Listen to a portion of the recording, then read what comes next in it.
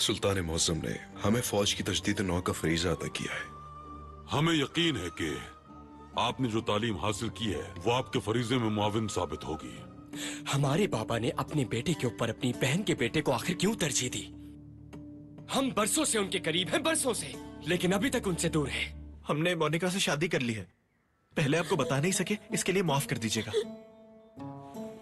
बेटे ये सब क्या हो रहा है? इस असलहे की नुमाइश का पाए तख्त में होना बहुत ज़रूरी है। लेकिन पहले हमें जनाब गुस्ताफ को तलाश करना होगा। फ़ौरन ले जाओ इन्हें। इन सब के सर काट के जंगल में फेंक दो। अगर लुत्फुल्ला उन्हें पसंद करते हैं और शादी कर चुके हैं तो कबूल कर लेना चाहिए।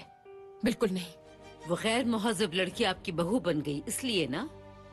और आपके बेटे ने आपसे ये बात छुपाई। बच्चों की अच्छी तरबियत करनी चाहिए थी। ए हसीन परी